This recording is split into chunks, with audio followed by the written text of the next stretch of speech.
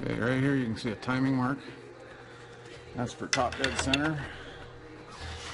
So I'm gonna roll my engine so that I'm on top dead center, which should basically be somewhere right there. We may have to move it once we put the cam in.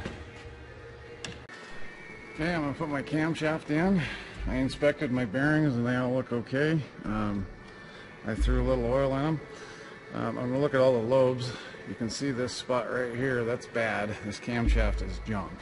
So there's really no use measuring it.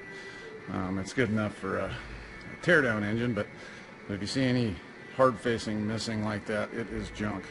I've got it rigged up on the crane and the engine inverted. So when you put these in, you got to be really careful and work it in because you don't want to ding up your bearings. These bearings are really in bad shape. So get it started in the bore. You can do this from the front with a, um, if you had a cam installation tool. Um, I'll tell you right now, this is a lot harder, to, or that's a lot harder. So there I got to kind of work it to get it lined up with the, so see I hit that bearing bore in the second um, cam bearing bore. I'm looking at all these lobes as I go in. Um, I'm not seeing too bad ones. Well, right there, that one's pretty bad too. So, like I say, this this would be due for a camshaft. This engine would. You have to just be patient with this when you do this, because it hangs up on the lobes as you go in. See there, it hung up on me, so I gotta turn it and get it to line up. Looks like it's going now.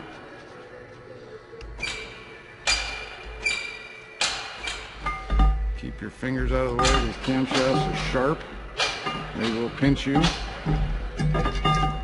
see, I turned that and got that to go. Okay. Anytime you got to put a camshaft in from an end like this, this is ideal if you can. Um, and quite honestly, most of the time you get to doing camshafts, you're probably out of the chassis anyways.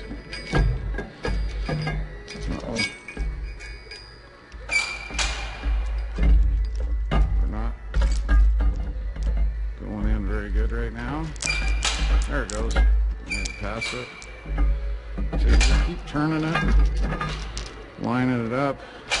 I guarantee you're going to do a lot less damage to the cam bearings this way than you would if you did it the other way. What I did, I just used a chain and some thick washers. If you got some thick fender washers, um, those work really good.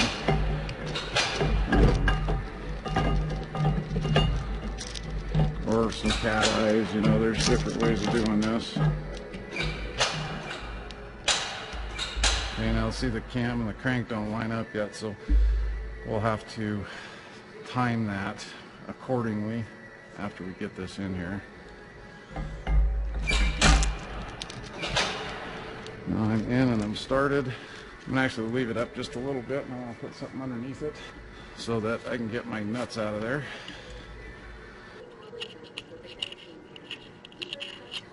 You can see what I did. I just put some thick washers and a bolt through a chain like that. Okay, this is the thrust bearing for the camshaft. Um, it can go in either way. Usually put the part number out. So it's going to slip in here. That manages your thrust bearing, keeps it from sliding in too far.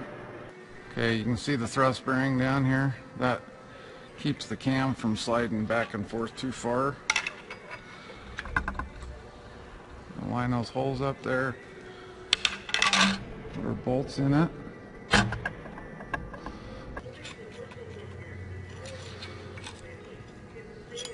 There's one there and there's going to be one on the other side.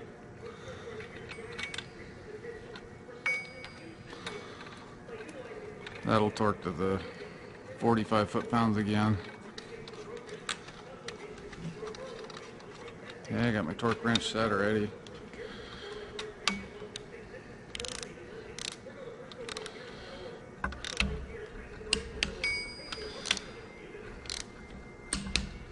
Okay, I need to make sure I got end play on this. Which I do. I can feel it moving up and down. Okay, we're to put our timing gears on. Um, you can see there's a mark here and a mark here, one there, and then there's top dead center on the crankshaft. So basically, uh, I lubed this bushing up, so that needs to spin freely. And they're a tapered gear, so you have to be right on the money pretty much to get it to go. Okay, I got it to go on.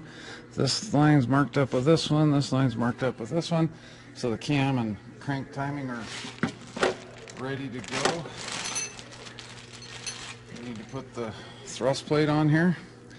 This side has a groove on it. That's because it's a thrust washer, keeps it from coming off. So that's held on with four bolts. I said this is one of the more critical things you're going to check is to make sure that the cam and crank timing are correct. Okay, there's a mark here and here, and then you can also see a K here and a K here when it's on top dead center. We'll also need to time our fuel injection pump, um, but that's done after we get the flywheel cover on, or the flywheel housing on, and the flywheel so we can pin the flywheel on top dead number one. Um, but like I said, this is critical. This is lined up. These are lined up, and there's a K here and a K here. Um, torque our cam bolts. I also need to uh, put some lube behind this before I put it on. Um, I lubed the camshaft, made sure it turned well. Okay, we're going to put our idler gear on. Um, this gear comes from the cam gear up to the air compressor drive. The right down here would be the fuel pump gear, uh, and that's timed to the engine as well. It's not through marks though, it's done a little bit differently. This one there's no real right or wrong way to put it on, but it's got a, this hub goes on first. Get that stuff off there. Leftover eliminator from putting the cover on. You slip in here like so, and then our gear is going to go on top of that.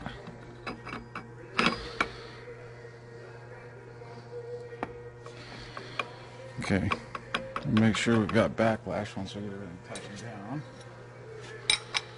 This plate goes on with the uh, concave face in.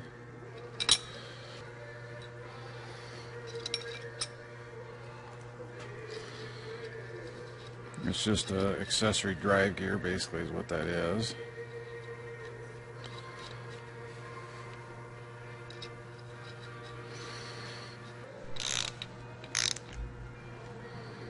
See how those gears line up? It didn't look quite right the way we were messing with it before, so this will be way better. This is kind of the pits, this housing back here, you can't take off without taking this gear off and the whole front cover here because you can't get to the bolt. Okay, we're going to install our um, um, cam followers. So these are all marked where they came from. If you were doing a new camshaft, um, you would want to replace it this little clip has to be in here. There's a little groove that that sits in. We're going to go down here and put some oil in it. I'm going to lube up the roller. Like I said, it only goes in one way. You really can't screw this up. Well, I suppose you could if you really wanted to. Okay, we'll get them all started.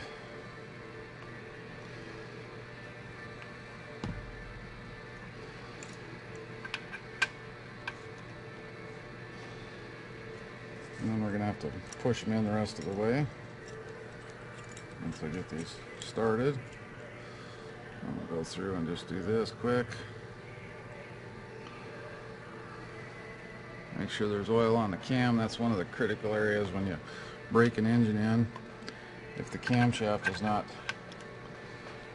getting enough oil or lube, it will um, not last.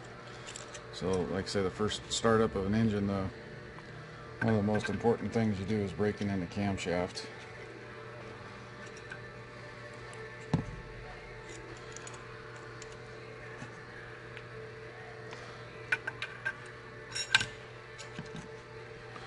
Kind of see the little locating clip, what that does is that keeps it centered so it doesn't turn in the bore.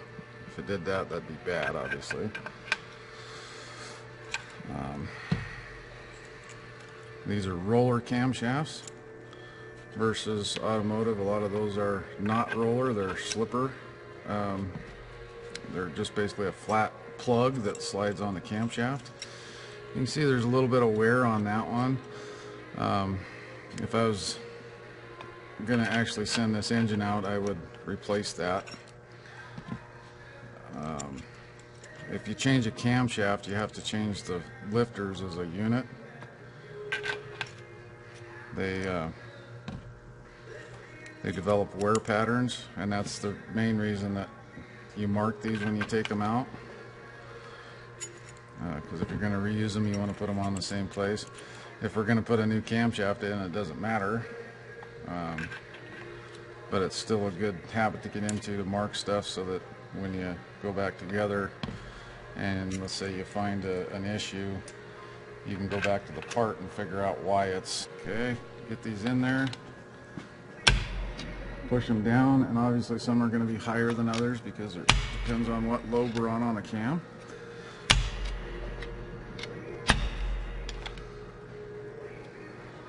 This little clip that's in there that also helps retain it so it doesn't come out.